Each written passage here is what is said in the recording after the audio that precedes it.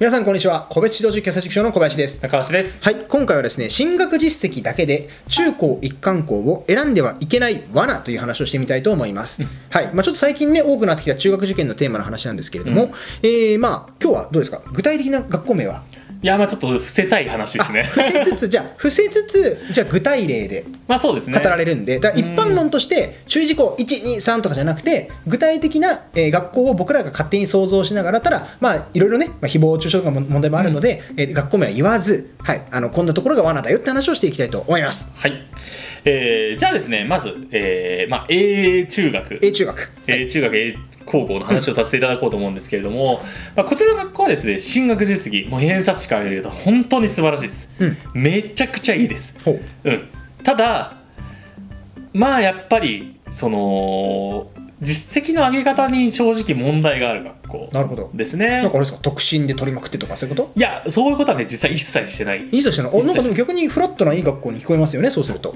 ただまあその生徒さんのモチベーションとかかけなく無理やり勉強させる学校さんっていうなるほどね。ちょっとだから、方向性で言うと自称神経というか、そう。またうん。自称心をもっとやばくした学校って感じですかね。あんまり言わないで、あんまり言わないで、バレてしまうから。まあそのやっぱりまあいろいろねまあ言ってしまえばあの体罰系の話とかさもう出てくる ところで、いや、もうバレてんじゃん。いやまあ別にあのどことは言ってないんで、あのただやっぱりあのそういうのも駆使してやっぱり、あの生徒さんをコントロールされる学校さんっていうのは一部存在しているわけですよね。なるほどね。うんちなみに今でもやってるんですか？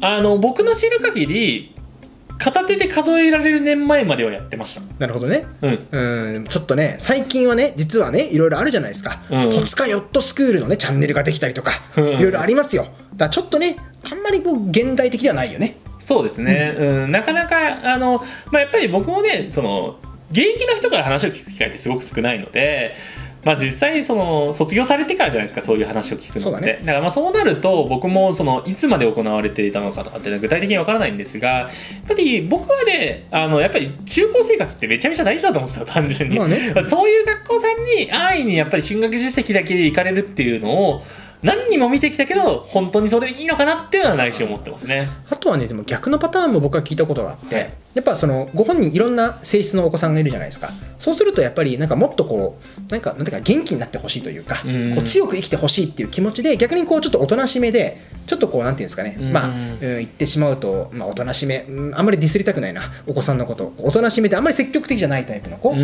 えてそういう環境に置いたりする親御さんいません？うん。でそうすると結構逆効果になっちゃって、そうなんですよ。先生とかとうまくいかなくなっちゃって結構やめちゃうって子がこの学校は多いかなっていう、そう、辞める人めっちゃ聞きますね。そうなんですよ話でね。なの、で進学実績を当てにしつつ、ね一方でちょっと厳しいぐらいの環境でガシガシ鍛えてほしいで親御さんの期待を入れ思って入っても意外とやっぱつねなんだかんだやめちゃうってこともあったりするので、うんまあ、注意は必要かなとは思いますねそうですね。はい。では次次。えー次はですね、えーまあ、B 中学高校の話をさせていただこうと思うんですが、えーまあ、この学校さんはですね、あのーまあまあ、あるところですごい実績を残されているはい。学校さんなんですよ。でただ、まあ、そこにロジックがちゃんとあってですね、はい。そのまあはっきり言うと生徒さんの大半を文系にしちゃう。うん。文系にしまくる、うん。まあもしくは、えー、と理系にするなら、まあ、ぶっちゃけ難関大学の看護とかばっかり受けさせちゃう、うん。みたいな学校さんがありますよと。まあね。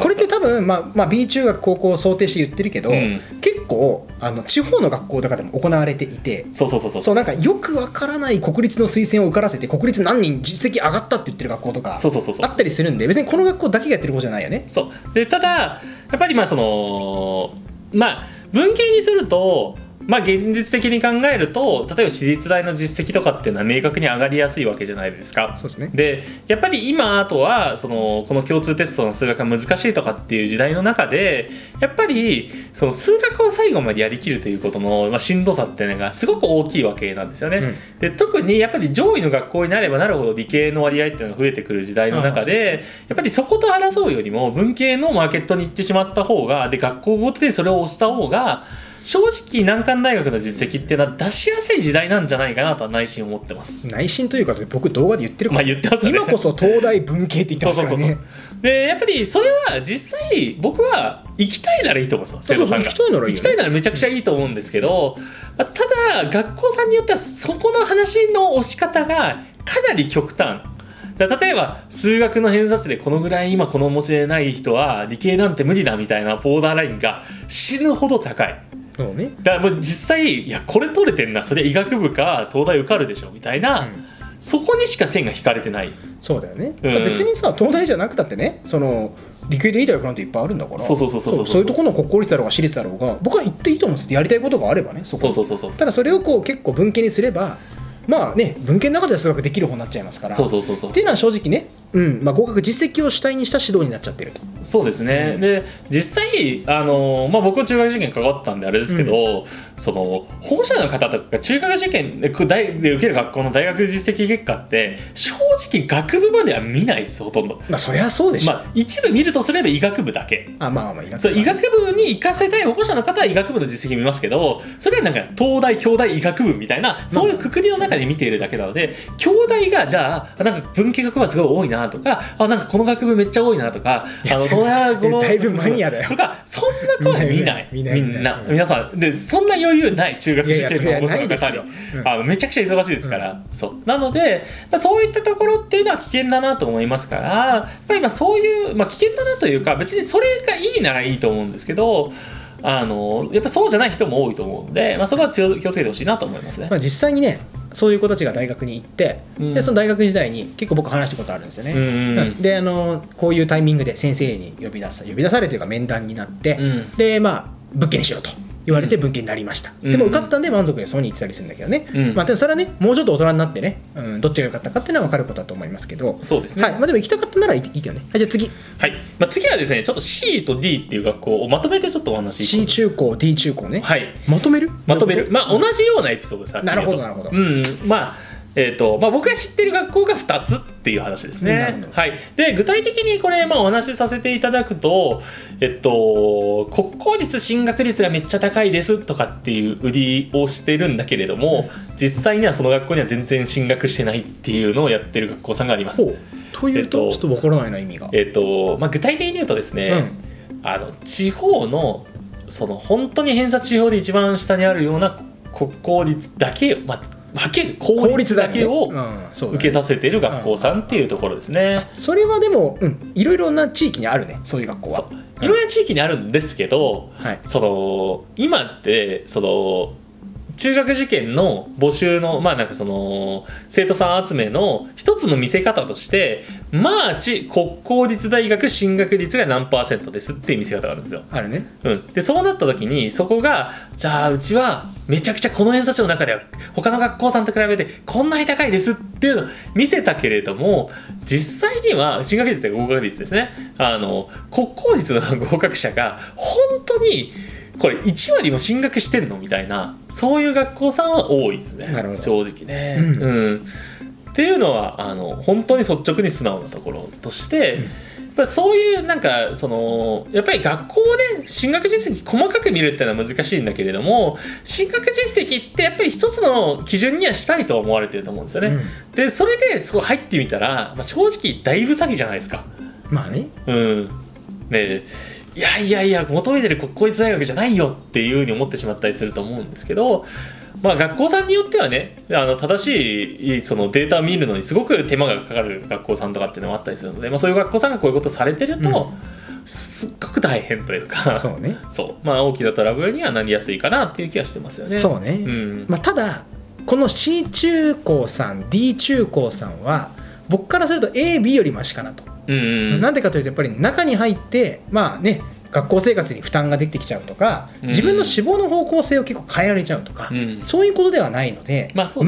ちょっと見せ方いい加減やねというぐらいでいやぐらいっていうかまあムカつくのはすごいあるんですけど、うん。ただそのお子さんの人生がねすごい変わっちゃうっていう感じではないので、そうですね。そのまあ点においては、まあ、マシという言い方は変なんだけどね、うん、やっぱ AB と比べると CD の方がまだまあそうですね、まあこれこういう人たちは国公立別に行くあの受けてる人は、まあ、実際には国立を受ける気がそもそもない人が多いです。そうですね。私立第一志望にしていて私立第一志望でも受けられる共通テストの科目だけ受けてこ公立大学を受けてるっていう方が多い。っていう側面から考えるとまあそのなんかそんなことやってまで実績伸ばしたいの？っていう気持ちはあるけれども別に生徒さんの害悪に大きくなっているわけではないというのは事実かなと思いますね。害がゼロではないけど、うん。そんなにでかくはないよね。そうですね。どこかな？はい。で一応あと最後にえっ、と〇〇高校とは中学って話じゃなくて、はい。あのーちょっと危険な学校。ってあのこれね実は高校の話です。高校受験でなんですけどその併願を、まあ、やたら優遇してる学校さんっていうのが一部あると思うんですよね、はい。うん、私立の学校で,、はい。うん、でそうすると結局まあなんかはっきり言ってしまうとうちに来てほしい学校さんにめあ学あ生徒さんにめちゃくちゃ来てくださいっていう学校ではなくて、まあ、正直公立落ちをうまく拾って受験実績上げてやろうっていう学校さんであることっていうのは多いとは思います。あそういうことこれ結構多いよこれ。そう。敵に回してるよこれ。で、うん。別にこれ自体が悪いことじゃないと思うんですだから別にこれはがだから学校さんを否定するつもりは逆に言うとないんですよ。でないんですけどそういう学校さんを第一志望にする生徒さんももちろんいらっしゃるわけじゃないですか。ああまあまあそうでねそこでいやこの学校なんか難易度の割にはすごい実績いいなって見るのはちょっと見方として危ないですよ。っていう話です。で、あのーこういうのってあの本当にあの高校入試とかだとよくある話なので、まあ、ちょっと最後に高校入試の話出てきてちょっと働き違いな感じではあるんですけれども、まあ、結構そういうようなこともあったりするので、まあ、受験の時はあの受験のにあたってはですねやっぱりそう進学実績の見方っていうものには気をつけなきゃいけないよということは、あのご承知おきいただけたらなと思いますね。そうですね、うん。結構でも最後の話は、まあ、実は動画1分になるぐらい闇があるんですね、う んはい。まあ、私それこそ高校受験組なんでね、うん。だから私だってこういう学校受けましたよ、まあそうですよね。うん、もうどことは言わないけど多分昔の動画ほっくり返せばどっか出てくると思うけど うん。で親親が面談に行ったらほぼ合格みたいなね。そうそうそうそうそう。話ですよね、うん。うん。ただちゃんと受験番号とお名前は書いてくださいって言われるんですから、うん。はい、あとはもう白紙でも通りますからみたいなこと言われるわけですよ。そうそうそうそちょっとその辺の闇は置いといて、まあ、ただ、ABCD の事例ねぜひ皆さん注意をしていただければと思いますし、はい。今日のテーマさ進学実績だけで中高一貫校を選んではいけない罠って言ったけど普通にね中高一貫校進学実績の闇じゃないこれ、まあそうですね。うん、もしかしたらタイトルそっち出すかもしれません。ははい。い、というわけで、まあ、ちょっとまたね怖い話でしたけど、まあ、しっかりと前向きにねえー勉強を進めていきましょう。学校選びは大事ですしもちろん今回中高一貫校の話ですけど大学選びもとっても大事ですからね、はい。一生懸命勉強していきましょう。最後までご視聴いただきましてありがとうございました。ありがとうございました。